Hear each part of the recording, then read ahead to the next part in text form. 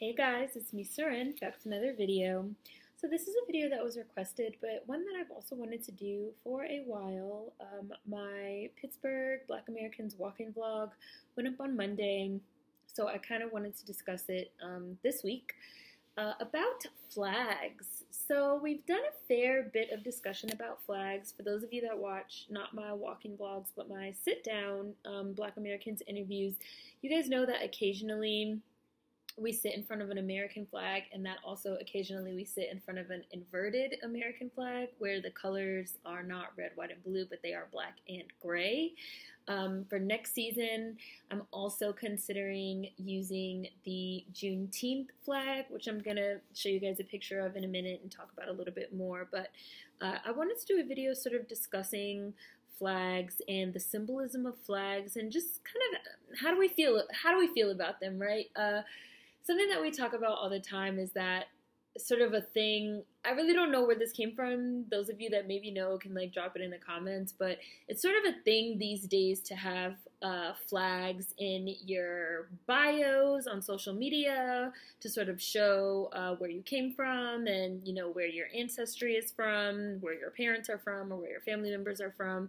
And something that I have seen a lot of Black Americans doing is adopting, putting the American flag uh, in their bios. I've seen this a lot on Instagram. Uh, I'm not on Twitter, but I, have seen it. If I was seeing it a fair bit on Twitter before I was permanently banned. Um, and it's interesting because this sort of elicits a response from people when you have an American flag in a bio. I don't have a flag in my bio, my bio personally because like there's very limited space. So and I have like some other uh, information in mind.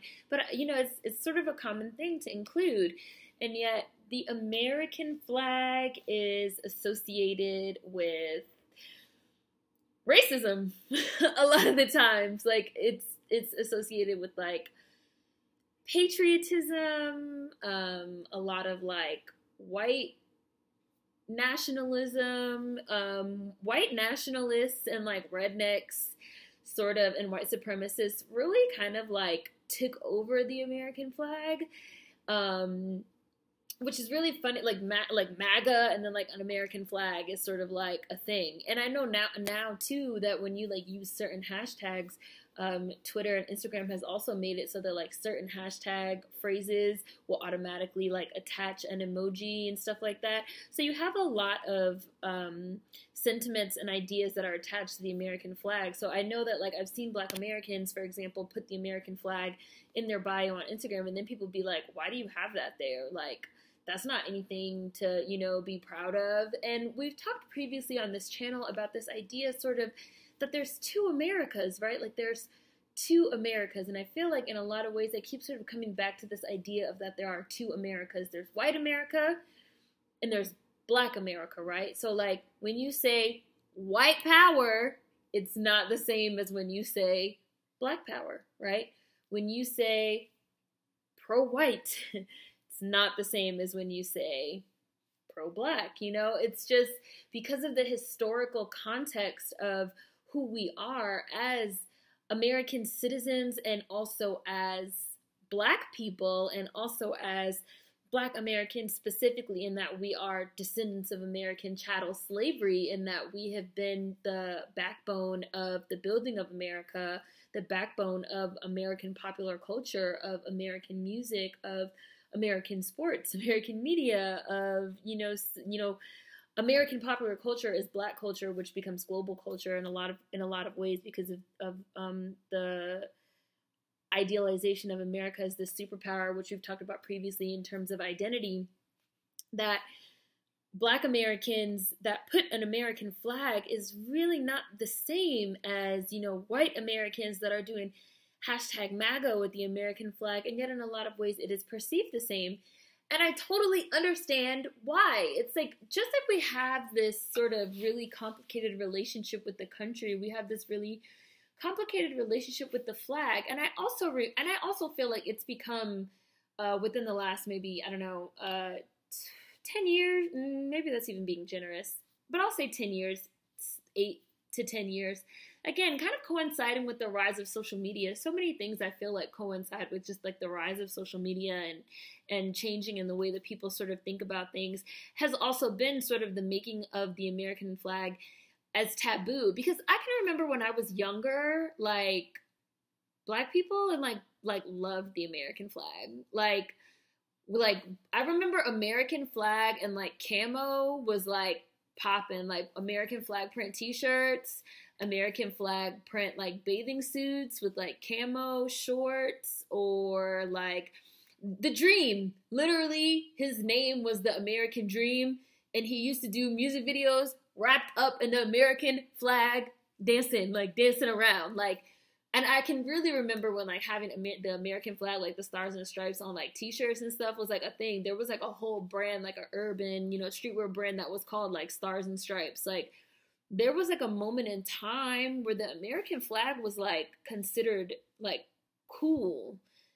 And then that sort of shifted um as the kind of global views of America shifted and rightfully so, understandably so, because like America, American imperialism, and again, like white America, I want to like really be specific that I'm talking about white America because we also, when we start getting to these conversations about America and the American flag and things of that nature, people love to say like, well, um, that Black Americans are like a part of American imperialism, for example, and it's like, no, we're not. Like, even you know like we historically have not benefited from any type of government program in this country from any type of government infrastructure in this country from any type of militarization in this country. The militarization of the country is used against us despite the fact that we are american citizens. The militarization of the police is used against us as black people. Like it, we're not we don't benefit from it in any way shape or form. Even black americans that join the military like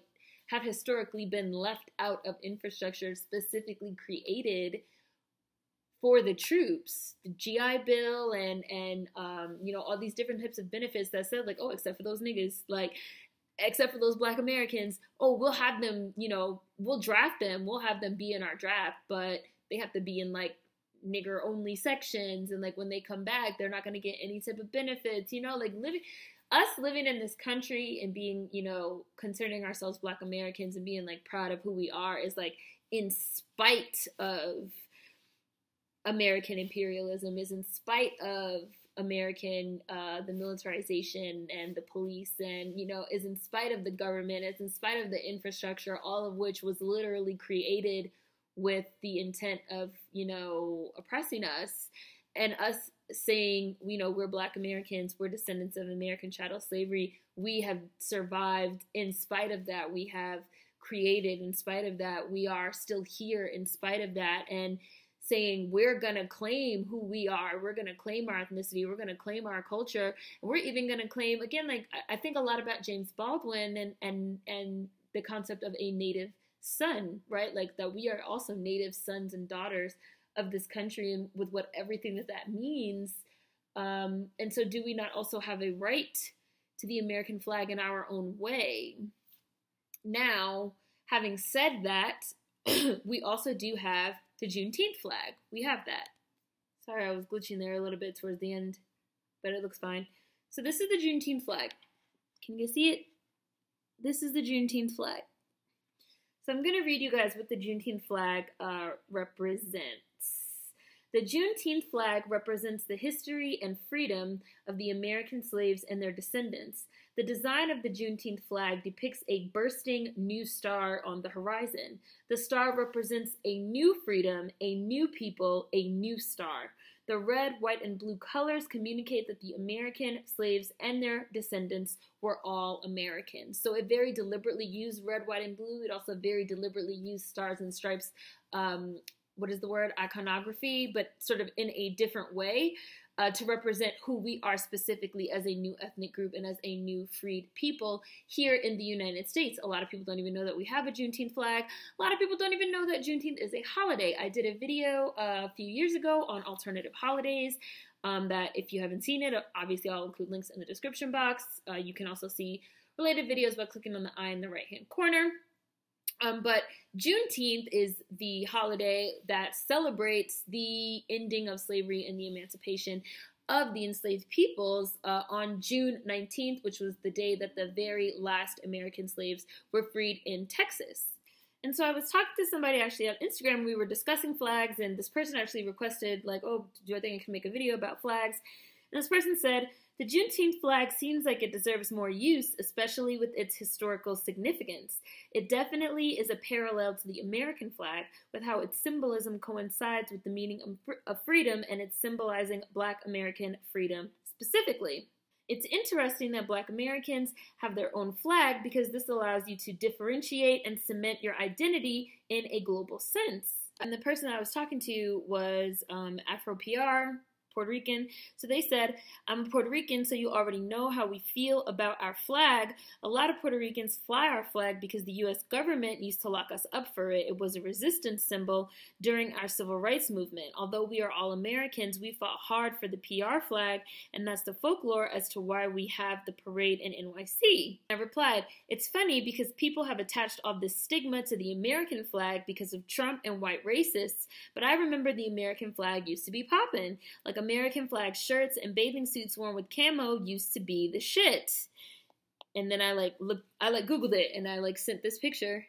And I was like, I remember like stuff like this used to be popping. Like they used to be the wave.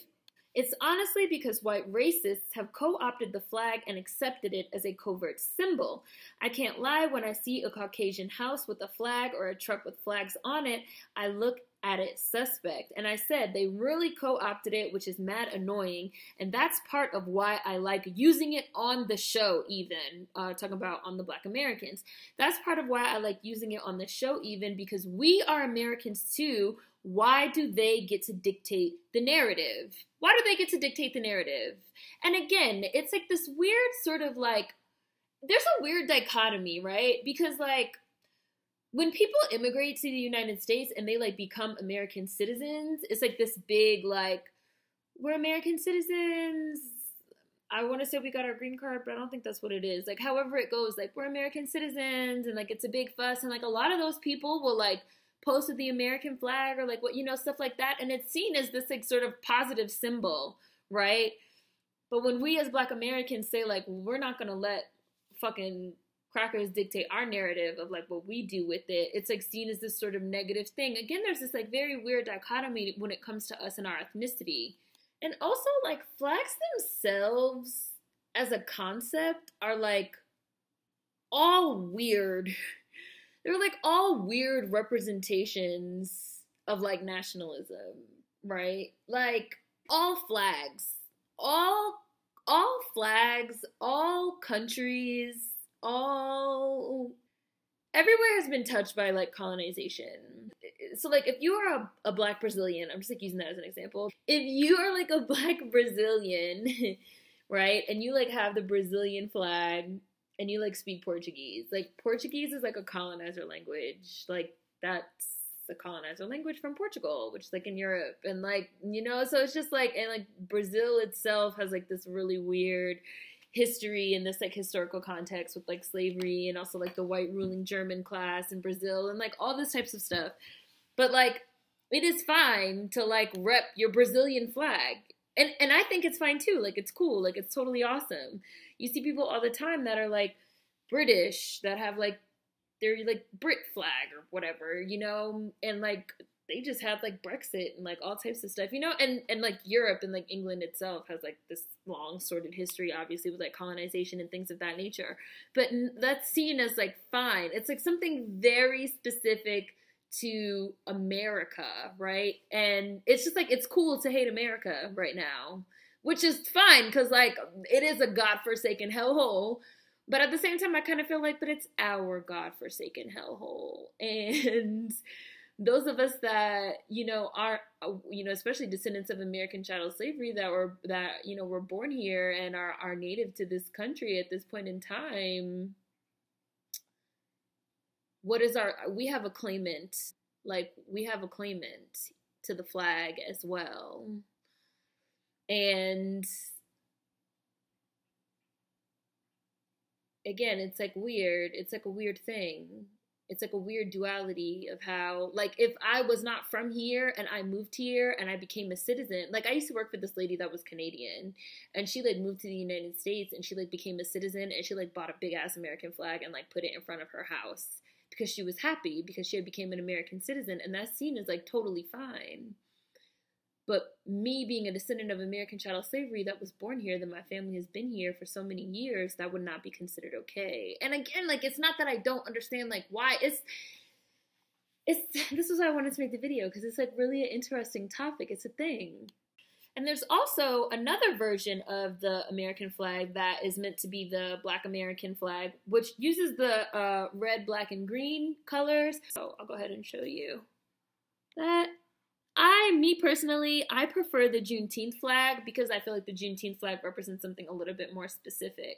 And I'm also quite fond of this flag with the inverted colors. This is me and Danielle. if you guys remember the Black Americans Raleigh, I really like that one as well. I'm I I think I'm gonna get uh, a Juneteenth flag, and I might also possibly get a Black American flag um, and alternate between the regular flag, the inverted colors, the Juneteenth, and the BA. But it really is sort of a well, I do think that kind of like the uh, conversation that we had on this channel about like changing last names. Some people feel like you know they they don't want the last names that they have because they feel like, you know, those are vestiges of slavery and it's inappropriate. And then you have other people that are like, you know, that's who we are, that they're totally proud of their last names um, and they want to remember and they want to hold on to that, which is a personal choice again. I do think it boils down to how you personally feel about it, but I think it is just like a really interesting conversation to sort of have. So let me know what you guys think in the comments. Um, there will, of course, be links to related videos in the description box. Um, yeah, curious. I'm really curious to know what you guys think about this topic. So, food for thought as always. Let me know what you guys think in the comments. See you guys next time. Peace.